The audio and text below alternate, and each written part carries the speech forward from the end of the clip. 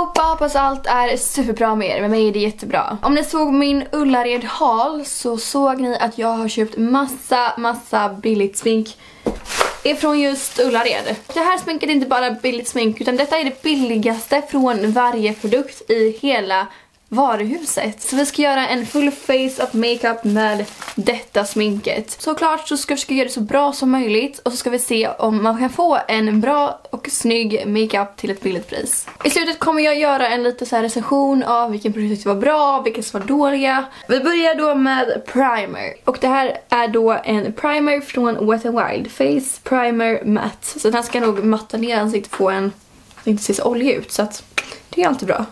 Den är vit här så här och den känns typ som en hudlotion fast lite mer kladdigt typ.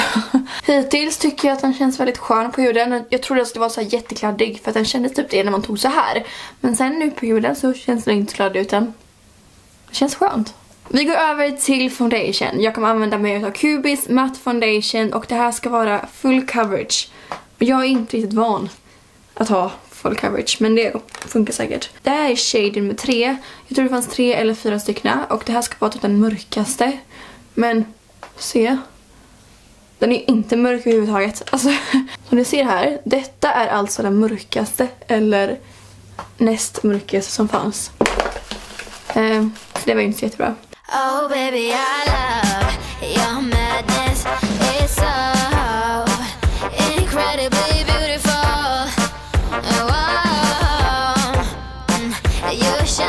Jag har nu satt på min foundation. Jag kommer säga som sagt i slutet av videon vad jag tyckte om den. Så vi går raskt över till puder. Detta är Cubis puder och det är pressed powder. Jag tar på det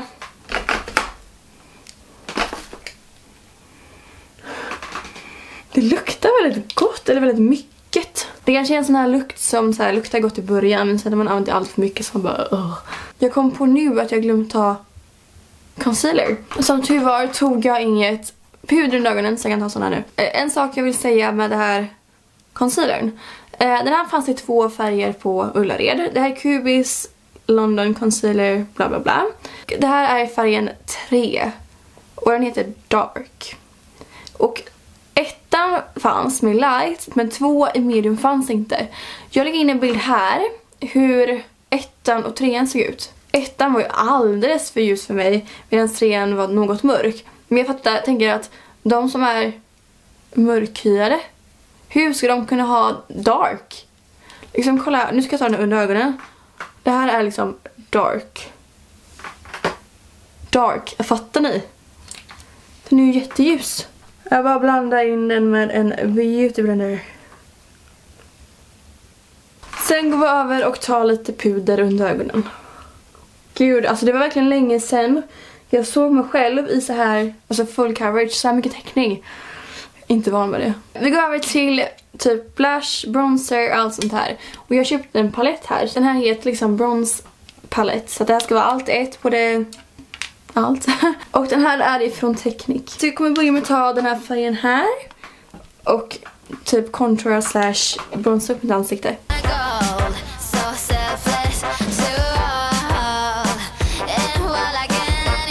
Sen ska jag ta samma palett fast den här färgen. Så jag tog den här innan jag bronsade upp med. Och den här är lite mer rosa som ni ser. Och den kommer jag ta som en blush.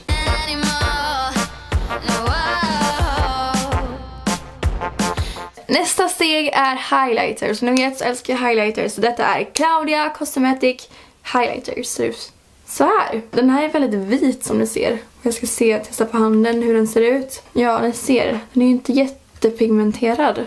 Vänta. Jag tar mycket här nu. Nu ser jag att jag tar mycket.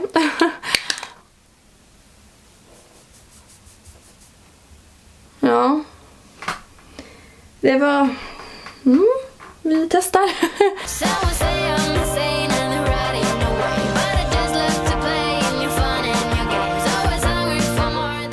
Jag tror att gjorde den här sidan, som ni ser, att jag hade kvar produkt från annan highlighters på. För att nu när jag gör den här sidan blir inte den lika intens. Okej, nu glowar jag så mycket som det går i alla fall. Vi ska över till ögonskuggan. Och eh, jag tänker också så här. Eh, om man vill köpa ekonomiskt smink så kan man typ så här lite multitasking om man fattar. Att man köper en produkt som man kan använda till mycket saker. Så jag kommer använda den här på ögonlocken också. Och det här är den här bronspaletten som jag hade till contour och eh, blush. Jag vet faktiskt inte vilken färg jag ska använda men jag tänker kanske bara ta lite sån här i ögongloben och sen lite sån här på locken. Det kommer inte vara någon jätte så här, wow eh, sminkning utan något lätt.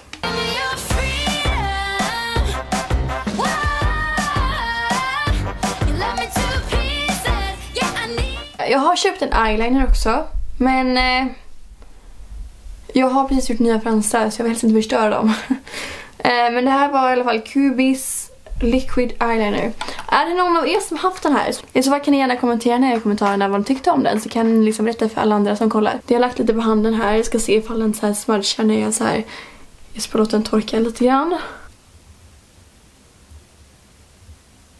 Okej, okay, jag kanske inte låter den torka tillräckligt. Vänta, vänta. Vi ska göra ett nytt försök.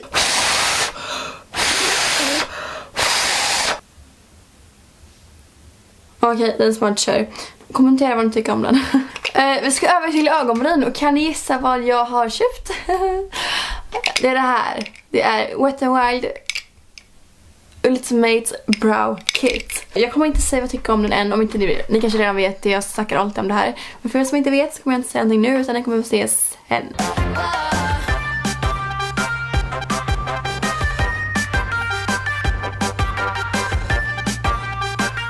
Brynen är klara och vi har bara ett moment kvar att göra. Det är läpparna. Som sagt försökte jag leta upp de billigaste produkterna. Och den billigaste läpppennan var röd. Jag kommer idag få röda läppar tack vare då en läpppenna som är röd och sen ett rött läppstift. Jag tror det här ni kanske första gången ni ens ser mig med det. Så jag tar den här läpppennan, målar som en outline och sen kanske fyller i lite grann för att sedan ta läppstift över.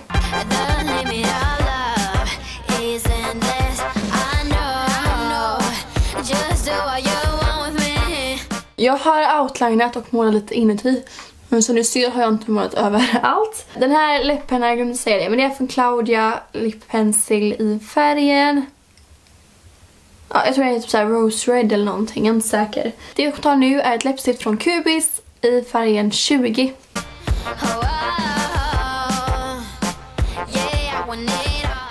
Okej, okay, de röda läpparna är på. Nu tänker jag att jag ska gå igenom för er, produkt för produkt, vad jag tyckte om dem. Jag vill bara säga att alla de här produkterna kostade max 40 kronor. Så att det var allt från, jag tror det var 7 till 40 kronor. Så jag vet att den dyraste grejen var den här för det är en palett med flera skuggor. Men det var ju ett bra pris eftersom jag både använde det till ögonskugga, bronzer och blush. Om vi börjar med då primern. Primer är lite svårt att liksom säga vad man tyckte om den om man inte haft smink en hel dag.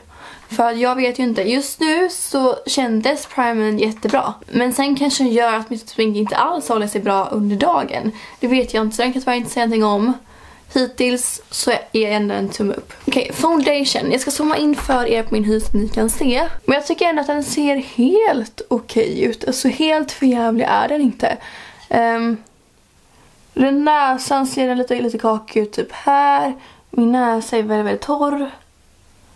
Men overall så tycker jag att det är helt okej. Okay. En nackdel med foundationen var att den var ganska svår att blanda in utan man var tvungen att alltså dabba ganska mycket. Jag tänkte bara på dabba, vad fan.